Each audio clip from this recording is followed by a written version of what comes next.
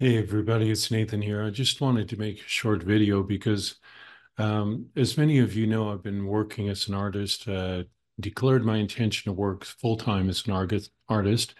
And one of the things that came across my plate a few days ago, it's actually something I did a few years ago, but it never quite worked out. And that was uh, doing adult coloring books. And recently I wound up watching a really great video on the topic and as a result, I created my first coloring book. So rather than speak too much about it, I'm just going to shut up right now and I'm going to switch the image over and I'm going to show you some stuff that I've actually done in this uh, coloring book project and you can see for yourself. So if you've got any questions, uh, write to me. I'd be happy to get back to you.